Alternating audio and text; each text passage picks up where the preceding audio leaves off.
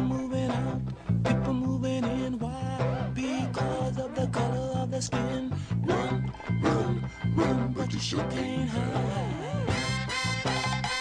Well, nobody's interested in learning but the teacher.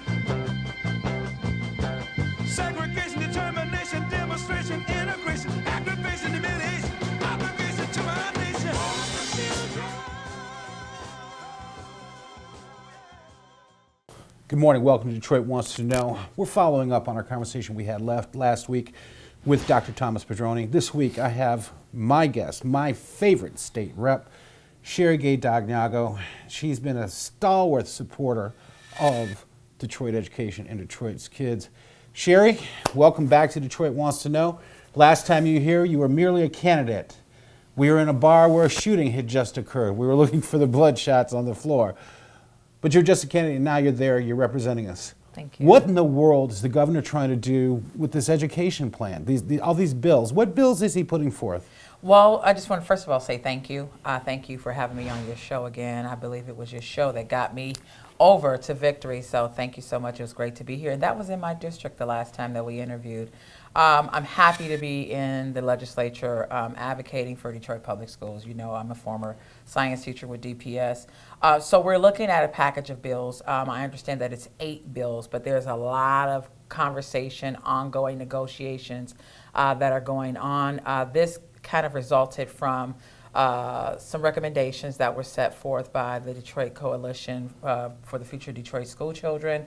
Uh, the governor has taken a look at that, and now we're on the backdrop moving forward on how we realize uh, what's best for Detroit public schools to address the deficit, which is in excess of $500 million.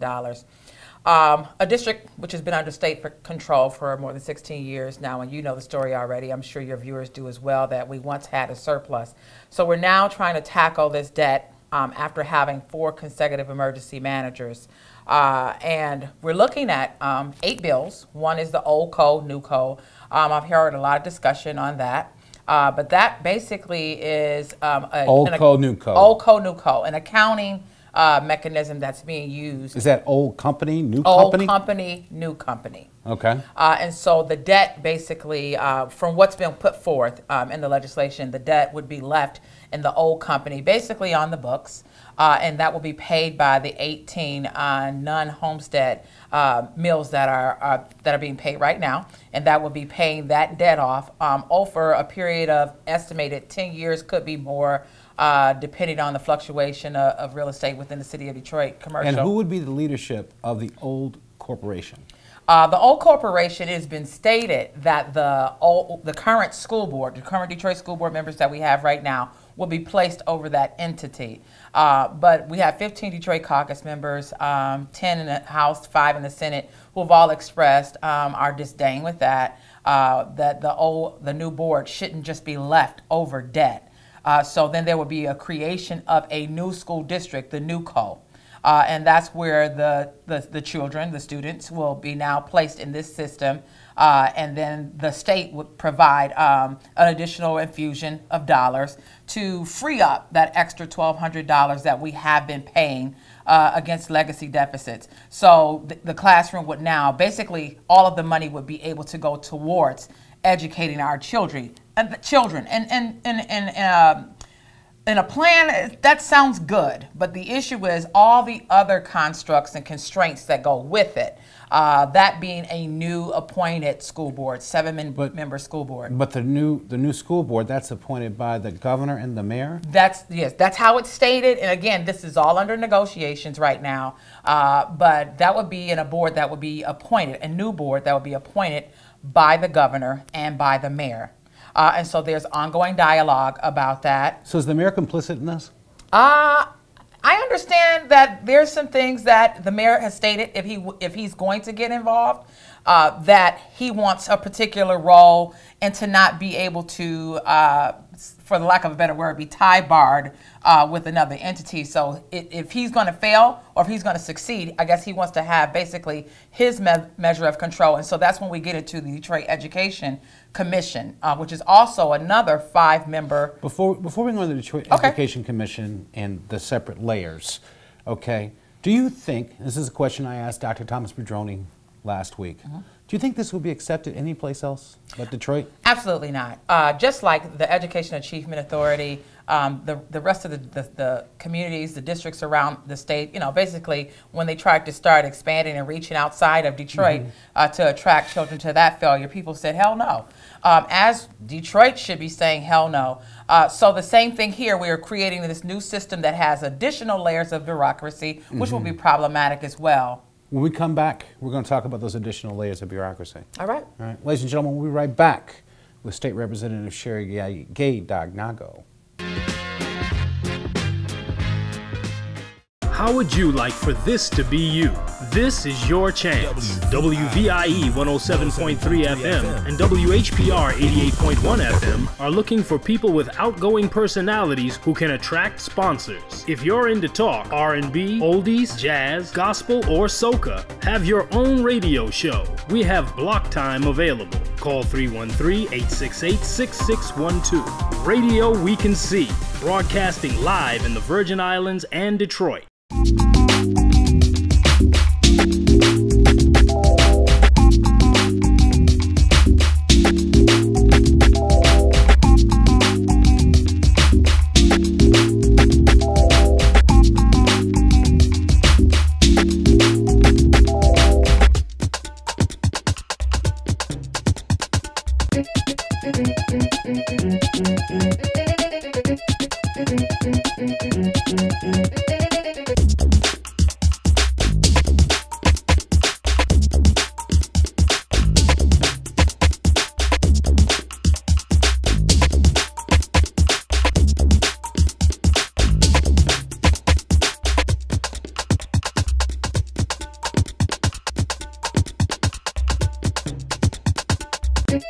Thank you.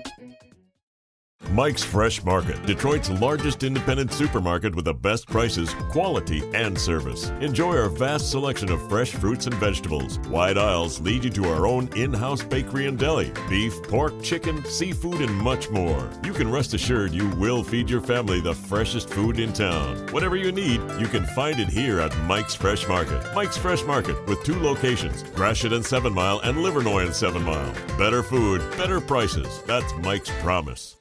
With 20 top surgeons performing over a dozen of the latest knee, hip, and joint procedures at the hospitals you know and trust, we only have one question Where does it hurt? Orthopedics and Sports Medicine at the DMC. Call 888 DMC 2500.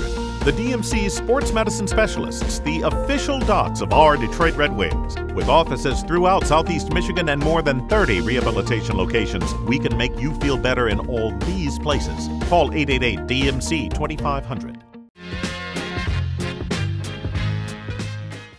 Welcome back to Detroit Wants to Know. My guest this week is Sherry Gay Dagnogo. Dagnago. Did I get it right? Dan Yogo. Dan Yogo. Dan somebody's going to learn how. Yogo. Somebody's going to learn how to say that, and that's especially necessary now that you no longer have street party voting. Absolutely. So I'm really not messing up your name. I'm doing this on purpose It's, so people know who your name Dan is. Dan Yogo. That's what I do. But speaking of on purpose, there are multiple layers here yes. in this package of eight bills. Mm-hmm. Tell me about the empowerment zone first. Well, initially, the empowerment zone was designed in a way to help normalize um, uh, Detroit's educational landscape, which is not bad within itself. So we have overcapacity. When uh, 2010, I believe it was, uh, legislature lifted the cap on charter schools. Uh, and that created the influx of charters, specifically in communities of colors and, and in Detroit. Uh, and so now we have overcapacity. Uh, our population, student population, has um, you know, went down. And so we have all these open seats at DPS. We have open seats within the charter schools, and then we have the EAA. So uh, it makes sense to try and normalize in some way the capacity of all these seats. Uh, so the empowerment zone would be inclusive of Detroit Public Schools, uh, charter schools, the EAA schools. Uh, additionally, it was supposed to also include the outer ring of Detroit, so a suburban charter schools that would have 51% or more um, Detroit residents within their schools. So, and that was the goal to help normalize capacity. Uh, the one of the key issues is though with So in normalizing capacity, that means students could be could go anywhere within that empowerment Well, zone? that means that there would be some element of common enrollment uh, that would be able to better track where students are. Uh, there would be an opportunity for some entity to evaluate these schools and give parents kind of a report card of how well the schools are doing. Uh, so it would deal with enrollment, uh, dealing with transportation. So some of those things are not necessarily bad. The problem is, is, is the who who would be evaluating the schools based on whose standards and benchmarks? And then would this be an opportunity to send the lion's share of children to charter schools in the end? So that's where some of the problems lie. But I look at it in, in a whole different way. Mm-hmm. I say once you have this empowerment zone thing, everything becomes a charter school. Well, that's what most people suspect. Every, everything becomes a charter Mm-hmm. school because DPS, as we know it, becomes a charter school Mm-hmm. because it's treated just like a charter school or an outer ring charter school. But there's another layer Mayor Duggan's Detroit Schools Commission. Yes. Where, where does that fit in? Okay, so well, then that's another layer, and, and again, more bureaucracy. Is it Uh, but- below or above the empowerment zone? Well, the empowerment zone is just the landscape. So the five uh, member commission would be the ones that would be uh, select or hire the CEO. And the CEO would Of be the empowerment of zone. the no no not the empowerment zone. The empowerment zone. Just think of it as a map. Uh-huh. Uh, uh, But it seems to have a set of duties attached with it. well, not the empowerment zone within itself. The uh, Education Commission hires a CEO, which kind of regulates the schools that are within Okay. the empowerment zone. All right. So it's kind of, you know, but now those, let me just go back for a second because those schools that are now in that outer ring, that's kind of been negotiated out of the empowerment Mm-hmm. zone. So we're just dealing with all three education entities that exist within the city of Detroit right now. EA charters and DPS. Right. And then you would have the Detroit Schools Commission here, Mm-hmm. the empowerment zone here. Well, the empowerment zone is the landscape that they're regulating. But what about all the rules that are set forth in the bill? The rules that are set forth is what the commission hiring the CEO would help to regulate within the empowerment okay, zone. I get that. Okay. All right, I understand it because I was a little bit confused about that. That's okay, that. I'm a teacher. That's a whole lot of bureaucracy. Yes, when it we is. come back, I want to talk about bureaucracy. I want to talk about the right to vote. Okay. All right? All right. Ladies and gentlemen, we'll be right back with State Representative Sherry Gay, Dag Nago. Dag Yogo. no go. Got it. Be right back. Eric wants to know. What does DTE Energy do to make Michigan a better place? Rodney can tell you. We do a lot, like youth education and employment programs. We fund over 500 jobs for youth all across the state. Many are neighborhood improvement projects just like this. It's incredible. Wow, that is fantastic. So this is like a paint by number, this whole thing, right? Communities are such great places, aren't they? They sure are. Love the siding. Measure once, cut twice, right? DTE Energy. Know your own power. Find your path to success at Wayne County Community College District. From high tech facilities to experienced instructors to a range of programs that give you the skills you need for in demand jobs. Everything you need to jumpstart a new career or advance your education is at a campus near you. And we're here to support you every step of the way. So why wait? Register today. Detroit Wants to Know is sponsored by the AFPD, the voice of independent retailers. Hello, I'm Dr. Shauna Diggs, and welcome to Cosmetic Dermatology. As Michigan's leader in comprehensive skin health and rejuvenation, board certified dermatologist Dr. Shauna Ryder Diggs and the entire cosmetic dermatology team take a caring, customized approach to skin care. The cosmetic derm team effectively treats skin diseases and autoimmune diseases such as lupus. State of the art laser technology is utilized in hair removal, tattoo removal, and skin peels. To learn more, visit our website, Cosmetic Dermatology, where science and beauty meet. Those in the know know that it's all happening at the Detroit Seafood Market in Paradise Valley, including happy hour weekdays from 4 until 7. Mondays, it's dinner for two, including a bottle of wine for just $69. And Tuesdays, it's half off bottles of wine with dinner for two. Wednesdays, the Detroit Seafood Market offers all you can eat crab legs for just $30. And who can resist a complete lobster dinner for two on Thursdays for just $69? The Detroit Seafood Market and PV Lounge in Paradise Valley. See you there. At the Turkey Grill, turkey is what we do. So if you want the juiciest and easiest turkey for your holiday dinner, get your whole fried turkey now and relax on the big day. The Turkey Grill is open early every day with their $1.99 breakfast special, turkey sausages, hash browns, and toast. And they always have delicious turkey breast dinners, carved turkey breast sandwiches, turkey ribs, turkey wing bites, and juicy turkey burgers. At the Turkey Grill, turkey is what we do. The Turkey Grill on Woodward, four blocks north of West Grand Boulevard. Call 313 872 4624.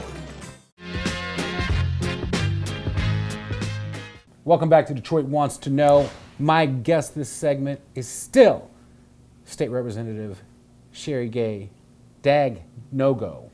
I got it right. Dan Yogo. Dan Yogo. Forget it. Like people got Barack Obama, but so they'll get Sherry Gay Dan Yogo. But they never got Hussein. That's a Hussein joke. Anyway, um, Sherry, we talked about the multiple layers. We talked about all this stuff going down in Lansing. I want to talk about the right to vote. I asked Dr. Pedroni, would the usurpa- usurpation of the right to vote be accepted in Ann Arbor or any place not. else? But we have another whole segment of bills that's going to come forth. Well, that's already been passed in the Senate that eliminates straight party voting.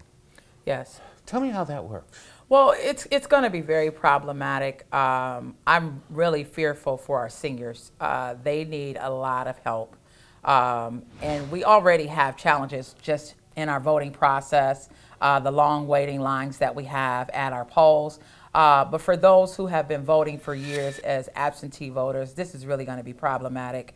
Uh, and so the support that they will need, um, I'm hopeful that it won't make it through the House. Uh, so, you know, the, the, the Senate is, is certainly went forward with this, and it's going to hurt a number of our districts, especially our districts that are not primarily uh, within the city of Detroit. We have 15 uh, Detroit caucus members right now. Some of those seats could be a challenge, uh, those that are bordering on, on other districts that are outside of Detroit. So this is time now for us not to wait for all of our labor entities, all of our faith e- en- entities. Uh, we need to start organizing right now to educate our people um, on how to vote. Uh, and that's critical. Um, working with our city clerk, uh, and uh, certainly our Wayne County clerk has done an excellent job of making sure that she raised awareness, but now it's time to turn that up even greater. So, coming to the end of the year, Mhm. you have the education bills. Yeah, well, they'll be coming back uh, in December, and we know that in December it's it's a time where bills are rushed through the process, and so I'm hopeful that uh, we can negotiate what's in the best interest of, of, of Detroit children. We've seen already what's happened with the Education Achievement Authority. Although that interlocal agreement is up, you know, Detroit caucus members, especially our caucus chair, uh, Brian Banks needs to be applauded. Uh, he has called for an additional bill that would uh, prohibit the ability of, of anything like this happening again. So the interlocal agreement ends in December for the EAA, but what's to stop the CAA or the DAA? What's to ha- stop that? And we also have uh, uh, the emergency manager. Some are calling for his resignation, but here's the thing I even fear about that. If we get Darnell Earley's resignation right now, the way that the law has been written in 436, that will end up resetting the clock again, and we'll end up getting another uh, emergency manager. So that's problematic, and we need to fix that. But these set of bills that are coming forth, uh, Detroit caucus members have expressed that the EAA schools need to be returned to DPS, not just um, put into uh, an opportunity for charter schools to bid on them, because that's one element that is also uh, there. Those schools came from Detroit taxpayers. Uh, many of those schools were either built or re- rehabilitated, I should say, um, and built, Mumford, uh, with the uh, proposal S dollars uh, that vote taxpayers paid for. So we sh- you cannot cheat taxpayers. This is not a bankruptcy where you just get to take our assets. So, you have the education bills. Yes. You have the straight party ticket voting. Yes. All right. What else can we expect You know, before December? what kind of December Steve, surprise Steve, are you know, have? it's it's unpredictable. There, are there's some days that you could go into the leg- legislative uh, session and you start out with the week having a short week, but then you saw the week that they did the roads package. They they came out of nowhere with that. So we're not in control of the House or the Senate, and so it's up to you know the Speaker. Uh, uh, and those who are in power right now what packages they want to put forward. So, you know, we just have to keep our eyes and ears open and really stay engaged and, and get our community in the legislative process. But our school is the primary issue that's going to impact uh, the city of Detroit. Now and, and in the future. Now and in the future. And right now, we have an opportunity to get it right. I think that there are some elements um, of the plan that could be helpful, but we cannot take away uh, local control. We cannot take away the voice of the people, and we got to make sure that we return uh, the buildings and uh, the EAA schools back to Detroit Public Schools. Okay. Well, I want to thank you for coming through. I'm glad you're vigilant, but we know we got another problem yes. here in Wayne County. Out in the outer ring suburbs, mm-hmm. people are losing their houses. Yes. People that had payment plans are getting foreclosed upon. And when they're foreclosed upon, it's supposed to be for public purpose, but it's not happening. Absolutely. When we come back, I'm going to talk to my good friend Tarek Beydoun. You need to stick around and oh, just oh, hear what he will. has to say. Well, I know he's phenomenal, so I would look forward to hearing it. Ladies and gentlemen, we'll be right back with Tarek Beydoun and the out county foreclosure crisis. You always hear about Detroit's foreclosure crisis, but you don't hear about what's going on these poor people, poor God fearing people with American flags on their front porches that are being kicked out of their homes. We'll be right back. At the Turkey Grill, turkey is what we do. So if you want the juiciest and easiest turkey for your holiday dinner, get your whole fried turkey now and relax on the big day. The Turkey Grill is open early every day with their $1.99 breakfast special, turkey sausages, hash browns, and toast. And they always have delicious turkey breast dinners, carved turkey breast sandwiches, turkey ribs, turkey wing bites, and juicy turkey burgers. At the Turkey Grill, turkey is what we do. The Turkey Grill on Woodward, four blocks north of West Grand Boulevard. Call 313 872 4624. When you're having a heart attack, this is how it feels to your heart. And if it happens at night or on the weekend, there's only one hospital team standing by on site to save you Cardio Team 1, only at the DMC. We're the Cronin Law Firm, bringing more to the table. When we sit down together, we share our expertise. You've got a legal problem, we know you need relief. Advice that you can trust, that's why people come to us. We're the Cronin Law Firm, bringing more to the table. Detroit Wants to Know is sponsored by the AFPD, the voice of independent retailers. With 20 top surgeons performing over a dozen of the latest knee, hip, and joint procedures at the hospitals you know and trust, we only have one question Where does it hurt? Orthopedics and Sports Medicine at the DMC. Call 888 DMC 2500. The DMC's sports medicine specialists, the official docs of our Detroit Red Wings. With offices throughout Southeast Michigan and more than 30 rehabilitation locations, we can make you feel better in all these places. Call 888 DMC 2500. Welcome back to Detroit Wants to Know. We've talked about the mess in Lansing, but now we got a mess in Wayne County. My friends, Detroit, you've heard all about its foreclosure crisis. But you haven't heard about the outer ring suburb foreclosure crisis. I have my good friend, attorney Tarek Beydoun here, who has been dealing with this, who's been fighting for people of all races, creeds, and colors. Tarek, what the hell is going on? There's a pizza party and they wouldn't hear you about uh, foreclosures. What's going on with this? Steve, unfortunately, thank you for bringing attention to this issue, but unfortunately, it took, I guess, the pizza angle to get people to pay attention to what is a very serious issue. We were at the Garden City city council meeting, uh, there were seven, at least seven families who were facing eviction after a tax foreclosure while they were in payment plans with the county. They were there to address the mayor. Mm-hmm. Uh, the mayor denied public comment, violated the Open Meetings Act. They got up and left. The excuse the next day was, you know, the I guess the funny or the spinning part, but you know, the pizza party. Um, the problem here is, for the first time, cities are exercising the right of first refusal before the tax auction in organized schemes to transfer these homes from individual families who have paid off their mortgages and fell behind on taxes to a single developer who owns several entities. Uh, and, and, you know, this happened this year. Our estimate is that there's a conservative 10 to 20 million dollar transfer of wealth you can either look at that if you don't feel bad for these families, and of course I do, and I'm willing to stand up and fight for them. We all should be. Uh, But I thought you couldn't take homes like that unless it was for a public purpose. That is correct. The law states that a right of first refusal uh, by a city uh, can only be done for a public purpose. In this case, this program was sold as an opportunity to take homes, rehabilitate them, empty homes, I may say, vacant homes, rehabilitate them and sell them to homeowners, which is, in my opinion, a great public purpose. Mhm. What is not a public purpose, very clearly, is taking people's homes who live in them and transferring them to you know, a private developer purely for profit. There's no other reason here. If you look at the results of this program and the, the intentions of these developers, there is no other, you know, there's no public purpose as to these families. Is it true that a person actually tried to buy the home back from the developer and they wanted to charge almost twice what the developer paid in taxes? Uh, well over twice, yeah. There, there were a couple of families. Uh, they've, you know, a couple of families have actually been able to make uh, deals thus far, uh, but others were offered, you And know. this is with the developer, not the city. The developer. So the developer is offering to rent these people their homes back, even sell them back at you know much higher prices, and do absolutely nothing to the homes. So I mean, if you look at So you know that He gets the homes in foreclosure. He pays a small price, whatever the tax owed, Yes. and then he offers to rent back a house that was paid for to the people that lost it.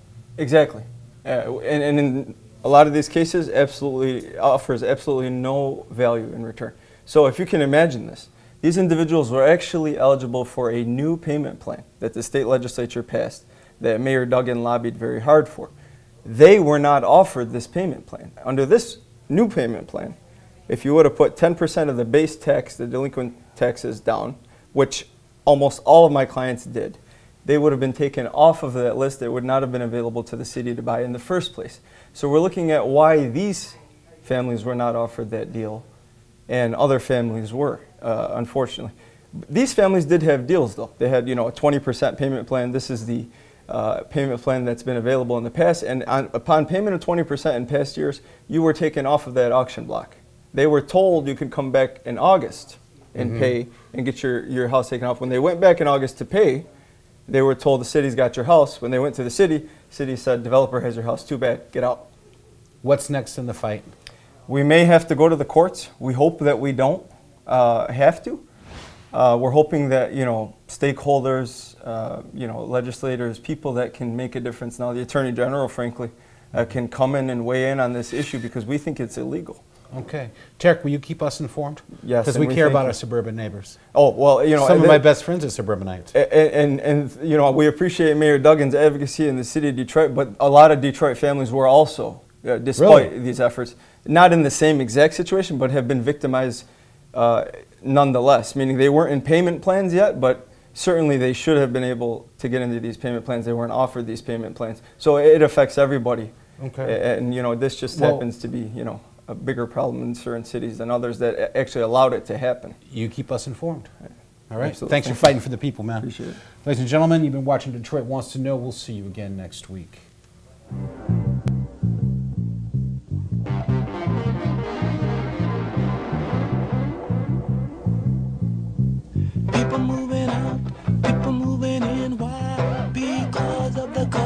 skin.